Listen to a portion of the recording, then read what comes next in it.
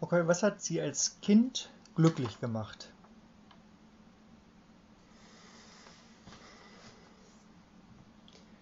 Ja, ich denke schon, dass ich als Kind glücklich war. Das muss man ja erstmal voraussetzen, bevor man fragt, was hat einen glücklich gemacht. Ja, aber ich hatte Möglichkeiten, ähm, frei draußen zu spielen, auf der Straße andere Kinder kennenzulernen und mit meinen Eltern in Urlaub zu fahren. Ich würde sagen, das waren Dinge, die ich als Kind genossen habe. Haben Sie sich als Kind einmal arm gefühlt? Nein, ich muss sagen, ich hatte das Glück, dass ich mich als Kind nicht arm fühlen brauchte.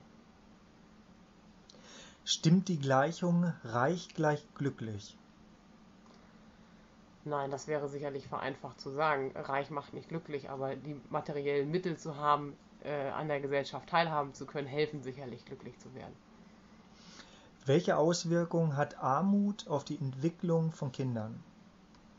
Armut hat eine ganz gravierende Auswirkung auf die Entwicklung von Kindern, weil sie das Gefühl haben, äh, nicht teilhaben zu können und sich ausgegrenzt fühlen und dies sich für das Selbstbewusstsein und für die weitere Entwicklung des Kindes massiv auswirken kann.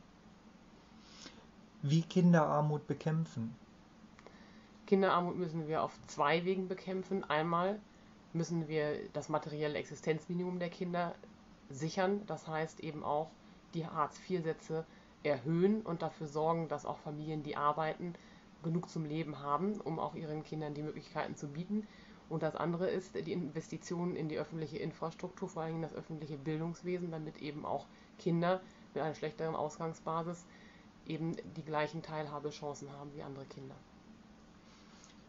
Kinderarmut, was würde Jesus dazu sagen?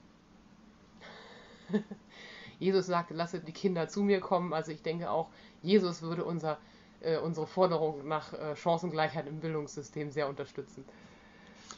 Abschließend, was würden Sie einem armen Kind ins Poesiealbum schreiben? Lass dich nicht unterkriegen. Danke für das Interview.